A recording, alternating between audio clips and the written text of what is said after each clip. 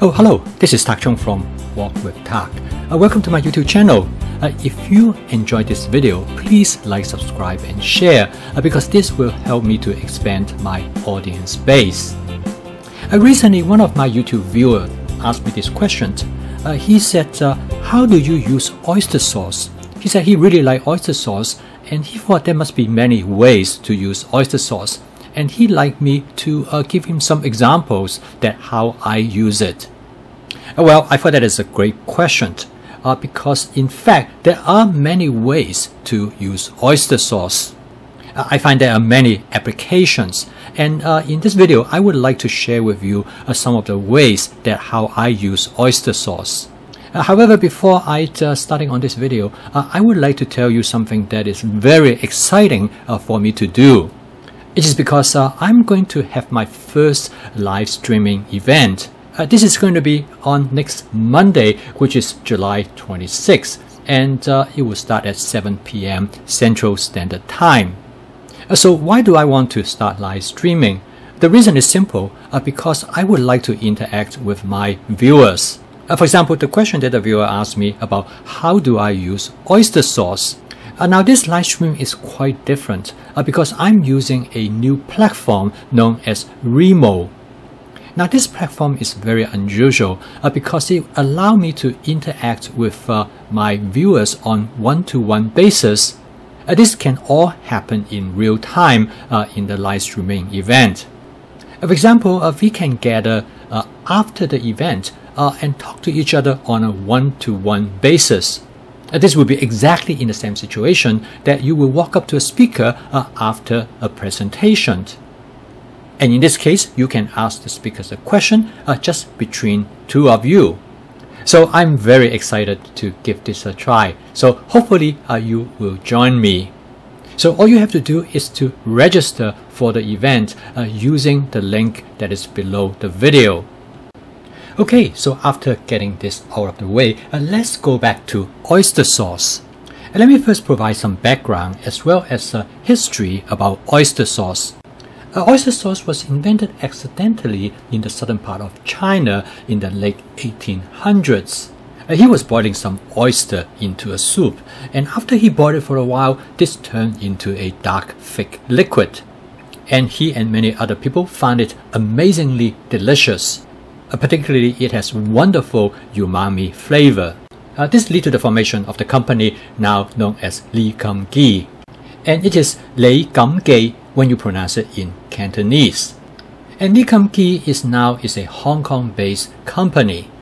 And in addition to make oyster sauce, uh, it also make many other type of sauces as well.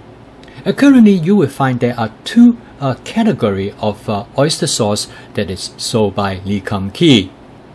Uh, the premier version uh, contained mainly uh, oyster extract and it also contains sugar, salt, and also water thickened with cornstarch.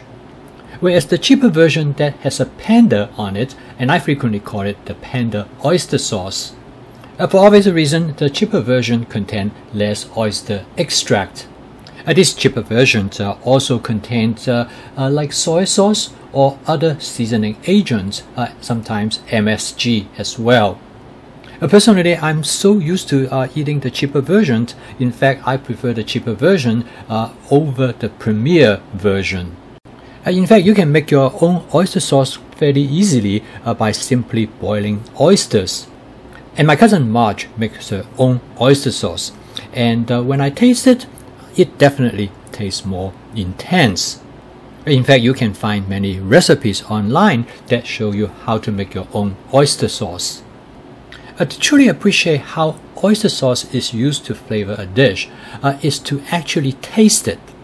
Uh, to me, when I taste oyster sauce, uh, I find that it uh, first uh, hits me is that it is quite salty. the second impression that I got from tasting the oyster sauce is that it is very savory. It has a great umami flavor. It reminds me a combination of uh, seafood and mushroom. And when I talked to my cousin Marge, uh, I asked her what would be the best way to really get a good uh, sense of the flavor of the oyster sauce. And she recommended me the easiest way to get a sense of what oyster sauce tastes like is to mix it with some noodles. As she told me, in fact, one of the most favorite uh, ways for her to eat noodles is to mix spaghetti noodles, actually just regular spaghetti pasta noodles with oyster sauce and some scallions. And she was absolutely right. It is truly delicious. Uh, here's a noodle dish. Instead of using scallion, I use chives. And my friend Jimmy uh, loves oyster sauce. And in fact, he put oyster sauce in almost anything that he Believe it or not, in fact, Jimmy actually put oyster sauce when he makes spaghetti sauce. Uh, Jimmy told me that he used a different amount of oyster sauce in his dishes depending on what he tried to achieve. Uh, very much like what Jimmy does, I also put different amount of oyster sauce in my dishes.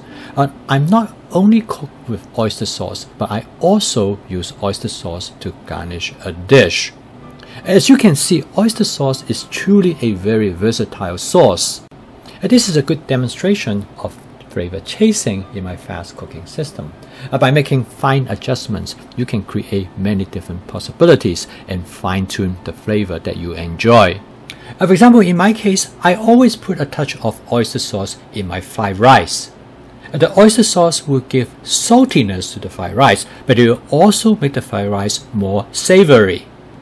However, the most frequent use of oyster sauce that provide a signature of a dish is in making teriyaki dishes. Uh, this could be teriyaki chicken, teriyaki beef, or teriyaki vegetables. And in this case, uh, the teriyaki flavor is created by the combination of oyster sauce and hoisin sauce. By varying the ratio between these two sauces, you can adjust the flavor of the dish, whether you want to make it a bit saltier or you want to make it more sweet. Uh, in fact, uh, I must uh, admit, I use this combination a lot of times in cooking almost uh, most of my dishes, whether it is a meat dish, a seafood dish, or a vegetable dish.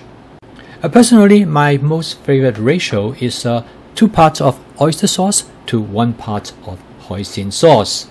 Another thing I really like about this combination is because uh, both oyster sauce and hoisin sauce uh, contain cornstarch.